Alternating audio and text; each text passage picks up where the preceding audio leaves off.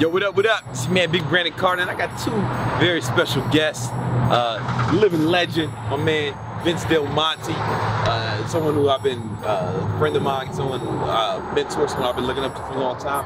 And my man Connor Murphy, YouTube fitness sensation. And uh, we want to talk about training for like longevity and the difference between training for athletics and training for aesthetics. And, and what you need to do if you want to get the look you want to get the mass versus if you want to perform and what are the different kind of training modalities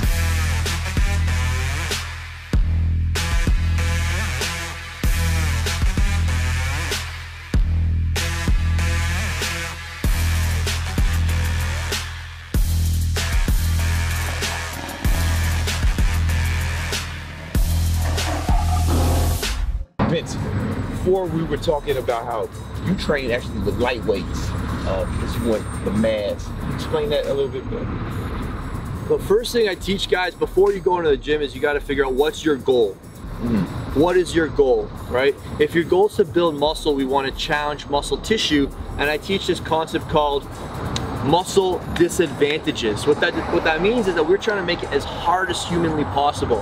So your body's always trying to seek the path of least resistance. So that your body, when you pick up a heavy weight, is going to disperse that load over as many different joints, muscles as possible. Which is great if you're training for strength. It's great if you're training for performance. But if you're training for aesthetics, if you're training for physique, you just want to look good, you don't need a lot of weight. Hmm, it's about the contraction. You need to make sure your muscles are working the weights and that the weights aren't working your muscles. That's good if you want to get strong. So the first thing is to learn how to make it hard. Learn how to make light weights feel heavy. Mm. It's kind of you lift so, kind of like that too. You don't like lift crazy heavy weights. You told me once you're not even that strong. It's like it's about you. I, I'm really, the looks. I'm really not, and I really don't care at all. Like a lot of people will see me lift like I'm bench press or especially squat. I'm pretty weak, man. I bet you know, you know, like any average person could probably lift as much as I do. Any asshole off the street. Anyone, man. That guy over there, right there, he probably lift as much as me. Fuck But- that guy. So I think, you know, today we were training in the gym and even the, some of the greatest bodybuilders like Frank Zane would teach mm-hmm. that numbers are arbitrary, right? So your body doesn't know if you're rowing 75 or 45. It only understands how much tension you create in that muscle, right? The currency of muscle growth is tension, all right? So what he's doing a really good job at is directing that load he's got in his hand into the muscle. That's why he doesn't need a lot of weight. Hmm. Guys who don't know how to contract muscle need heavy weights hmm. because then they just get a small percentage of that heavy weight into the muscle. Or they're using really short range of motion. Well, you better lose, use a lot of weight because you're hardly moving the weight a couple inches. It all comes down to knowing what your goal is. If you want to get stronger, you want muscle advantages, right? Athletes, you got to be fast. You got to be explosive. You need to use momentum. You're competing. Hmm. All right, we want to cheat. We want to make it as easy as possible. We want to become efficient. But if your goal is muscle growth, sculpting your body, you want to become inefficient. We always want to make it as hard as possible. So that again just requires to reduce the weight, slow it down, connect the mind to the muscle, and feel your muscles work. and form too, right? Like like Big time. like like you can do like I know Arnold did cheat curls every once in a while, right? And and I get that, but like when you're curling, like you wanna keep your elbows Right. in. You don't you want you don't want to move your back. You want to kind of lift the weight and then control it coming down. Exactly. You want to keep the tension on the thing you're trying to challenge. The little phrase I use is, is this if you can't contract it, you can't challenge it. And if you can't challenge it, you can't grow it. Mm. Mm-hmm. All right? And before all that, if you're not in control of it, you can't contract a period. So you've got to be controlling the weights. It all starts with control. Con- yeah, Connor, I, I noticed that you've had like when I work out with you, you're like one of the few young guys that I see you train with like impeccable form. Has it been like that from the beginning, from the onset? And what's your mindset around like your training philosophy? Yeah, yeah. Well, I mean, at first, I really didn't know what I was doing, so like everyone, I kind of ego lift. But once I learned, like, if you want to, you know, build aesthetics, it doesn't really matter, you know, how how fast you are, how big you are, how much you lift, right? As people probably know, and most people kind of feel the same way. I'm, I'm in it to get girls, man. I'm in it to look good, right? Like the I'm girls. married. I'm out of the game. But I mean, the girls don't really. Oh, Something like that. The girls, the girl, the girls don't really care about how strong I am. They don't really care about how fast I am. Mm. In fact, most girls would probably, you know, want me to be like less fast than I already am. And so, there's no point in me trying to deadlift 600 pounds, man. I want to contract the muscle, and so I can build the mass, right? So I can get that aesthetic look. Right. Because the girls do care about my looks a little bit. I don't even a little bit. I don't even think about it as lifting weights anymore. I think about it like contracting the muscle under a load.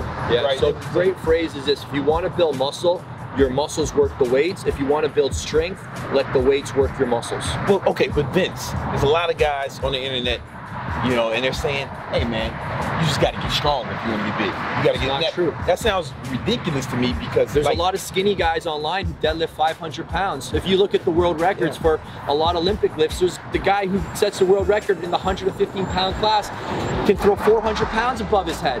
So yes, strength, yes, strength can potentiate size. It can set you up for the potential to get bigger, but it's not directly correlated. it's different muscle fibers. Yeah. Like it's just totally different muscle fiber. And, and if you think this, who the strongest people in the world, pound for pound, they're like um, they're power lifters, and they want to see who can lift the most without gaining. They want to be able to get stronger. And let me ask you literally guys, without gaining weight. How many guys you guys know who can deadlift over 500 pounds that don't have hip problems? Name one.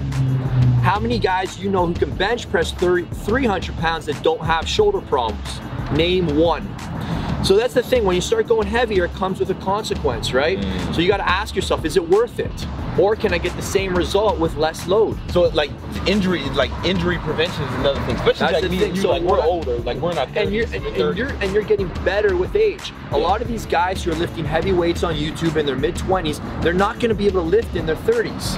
So the name of the game is to keep being able to build muscle into your 30s, 40s, 50s, and then you're going to gain more net muscle over time. Uh, All right. So I'm getting better too with age, just because I don't get hurt. I've never been injured my entire life in the gym. I'm 37. every injury I had was like trying to lift me more than I should. You know what I'm saying? So the cool thing is, is that your body will figure out how to. If y'all went to the gym tonight and said, let's do 500 pound deadlift. We want more views on the channel. Yeah. We'd figure out how to get that 500 pounds off the Oh, floor. Your body would compensate, but something would also snap. So what was the point? Mm-hmm. What's the point of being able to lift 500 pounds once? What's the pound, point of being able to bench press 300 pounds once? Right? Because what's the point of doing Spartan running once? Then you Yeah. get hurt. Yeah. Do stuff that you can handle and you can own so you don't get hurt. So, so we're talking about like having good form. Yeah. Uh, contraction. Like contraction is really like slow down, contract the muscle. Slow down. What about time under tension? You know, time the- under yeah. tension. That's it, man. Your muscles don't understand load; they understand time under tension. So you, you nailed it. Yeah, man. All right, so th- those are just things y'all, you guys might want to think about. Like, cause guys, this kid, he saw me in the gym and I was doing rack pulls. He's like, man, you're not that strong. I'm like, well, it- some other guy lifts this much, and then I seen that video and I was like, well, yeah, man, but he's looking crazy, you know, and he's always taking time off because of injury, right? Like I'm, you know, I'm looking different, you know, because I'm trying to uh, attack the muscle. And not- you're clear on your goal, man. Yeah. You know you want the aesthetics. A lot of guys, they're not clear on why they're even going to the gym. yeah. Should I be getting stronger? Should I be get, gaining muscle? You got to pick your goal, Well, right? There's some people who say, hey, these somebody's thinking about typing right now. These guys are all show and no go. What do you Who say to that? cares? Yeah, man. That's not my goal. Yeah. If your goal is to be go, then by all means go. Then but go. there's going to be consequences of that. That's why professional athletes they come in and out of their sport because they always get hurt. Bro, It's 30, like they're all retired by their by the time they're me and your age. There's like a 35, consequence everyone's to that, right? I mean, retired. Everyone's retired by the time they're like they're over the hill. Like Yeah. they say they're from the twilight of their career. And I feel because I haven't been going like that, like training like that, I feel like I'm stronger than ever. Yeah. Like I really feel like I'm stronger than ever.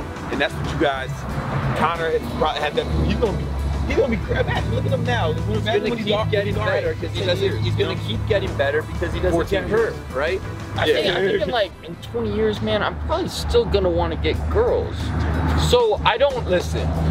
I'm all about that longevity, man. I'm 37 with two kids, so I just gotta laugh when I hear this. This is Yeah, hilarious. man. man. It'll get old eventually, bud. Yeah, I'm just gonna tell you that it gets old. But, But you- I'm always gonna enjoy. I'm always gonna enjoy the muscle, man. Yeah, I'm always gonna be about aesthetics. I'm never gonna really care about how much I lift because I don't really care. I just don't care. I just don't care. I just don't care. It's all ego. I mean, I mean, unless there's no reason to be able to bench 400. Like what?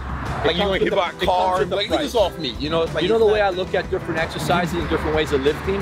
It's kind of like investing in certain stocks. Mm-hmm. Some kind of stocks you just don't want to bet on. You just don't want to bet on that kind of training long term because there's a lot of risk associated with it. So when you're going to the gym, ask yourself, is adding this extra amount of weight to the bar worth it? Or can I get the same result with less weight? And almost the, the answer is almost always less unless you're in a sport where they're judging you based on how much weight you move. Right. But if you're not in the sport of powerlifting, you don't have to play by powerlifting rules. Yeah, or if you're in the NFL or something like if you like there's Yeah. a difference between training for athletics and Yes. training for aesthetics. Exactly. right? And I think that's the yeah. big thing that's wrong with the industry right now. Everybody's treating people like athletes when people aren't athletes. If you're not an athlete, you don't need to train like an athlete. Yeah. You need to train like an individual based on what your goal is and what you want to get out of the exercise. Simple. Well said, man. Listen, if you don't already, make sure you follow uh, Vince. His channel is uh, linked below. Connor's got like 18 uh, YouTube channels, man, and they all got like over 7 million. So like, you want to go to his, the, the link to his stuff below. I don't think It's he's far epic. it's epic, and you're already on my channel. Uh, if you haven't subscribed, fuck is the matter with you? Go ahead, hit, the subscribe button. Uh, do yourself that favor. I love you, man. And then if you if you also done fucking up your life, you can hit the uh, notification button so it shows up. And uh, man, man, thank you guys for. How do you do that, man? What? You gotta Oh. teach me how you do that close. Like, Oh man, so you know good. what? It's like I love it. You can't teach it or learn it. Yeah, it's I know. It's, I love it, man. I love it. I love it. Man. Thanks. Well, thank you guys. All right. Appreciate it. All right, guys. All right.